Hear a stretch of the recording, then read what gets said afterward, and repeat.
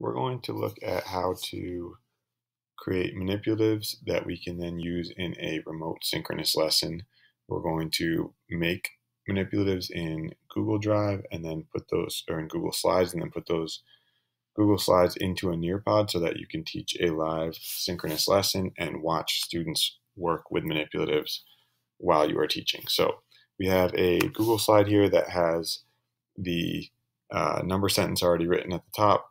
It already has a uh, number bond from a screenshot that I just dragged into the slide, and then I put a space for students to write their name at the top. That's going to be important a little bit later. The type of manipulative we want to work with is counters in a 10 frame. So first I'm going to make my counters. So I'm going to pick a shape, a little circle. We'll do some red counters. So we'll fill that red. And then we'll do some blue counters, but first we'll do these. Um, actually, let's do our blue ones too. So another circle. This one's going to be the blue counter, is about the same size. And now we're going to click on one of them, and I'm going to go Command D, make a big long line of lots of counters. I'm going to move this blue one out of the way for a minute, and I'm going to select all of these, right click or control click, align them horizontally in the center, align them vertically in the middle. Now I have a stack. I'll put those back up here. I'll do the same thing with the blue counters. Control or Command D to duplicate. After all that, align it horizontally, align it vertically. Now I have a stack of those two. If these get ungrouped, and now I try to move the stack and I move one at a time, instead of clicking on them, I just need to drag around them and that will regroup them. And now I can move them up here. So I have a big stack of counters that kids can move around and count with. Now I'm going to put the 10 frame in. So I captured a screenshot of a 10 frame. I'm just going to drag that in here. Because you're going to be putting counters on top of it, we want to make sure that we order this. So I'm going to right click, order, send to the back. Now the 10 frames in the back, now it won't get confusing when I start to drag things into it and then drag things back out of it. So now we have the slide that we want to work with. We need a slide like this for every one of the students. So I'm going to click over here and I'm going to do the same duplicate trick. I'm going to Command D and I'm going to make 20 slide for my 20 students. And when they come in, they will put their name into it and then I'll be able to see them all. You can go to View and Grid View and now I can see lots of student work all at once. I can see all these students working at the same time just by scrolling up and down.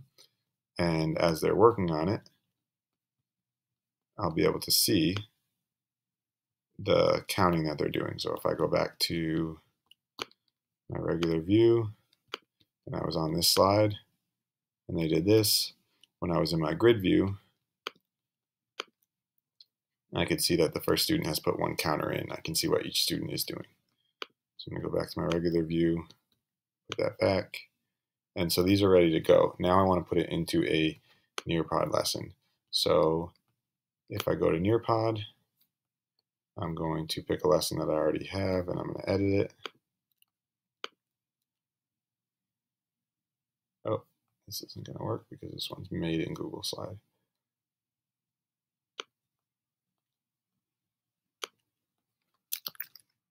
We'll do a new Nearpod lesson.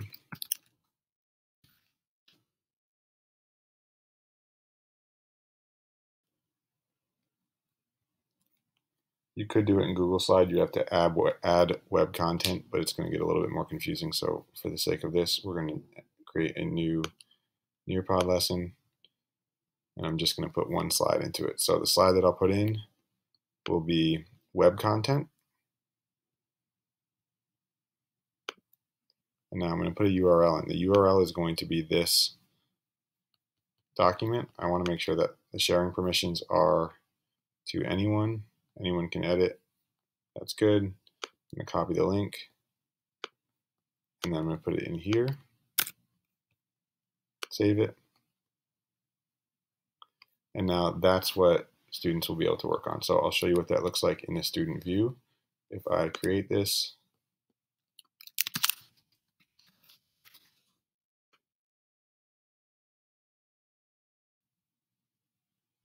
and then I'll launch it.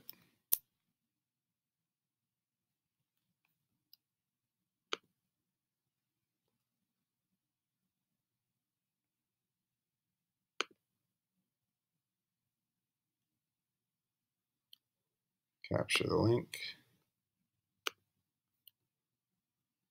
And now we'll be able to see what it looks like for a student. So I put the link in.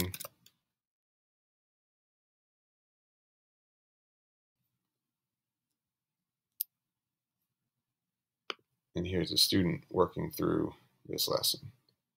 So that's the student view. Teacher view is here. And again, I can just, this is in Nearpod now. I can still go to grid view and I can still see everything. So if I'm the student and I'm working, I'm going to put in seven counters.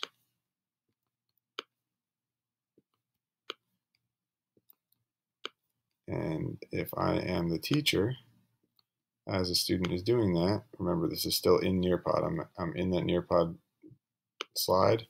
I can see in Nearpod the student has put in seven counters, so I can watch what they're doing. We'll do one more example going back to a different Google slide. In this one, I made toothpicks and counting cubes. I did the exact same thing.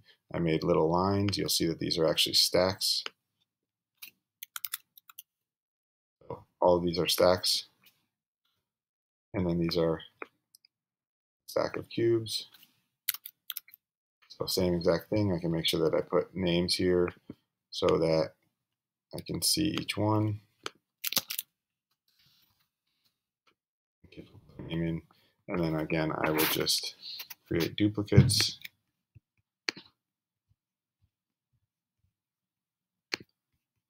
And I'll be able to see students working with those manipulatives.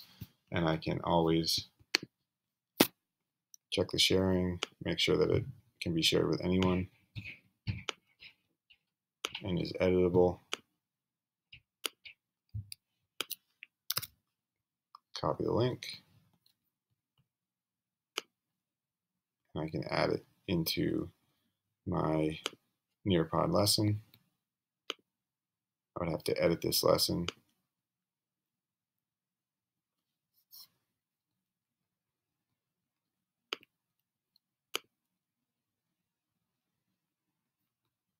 Add a slide, web content, URL.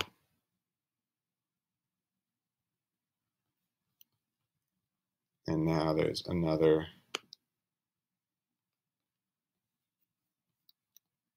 set of manipulatives that they can use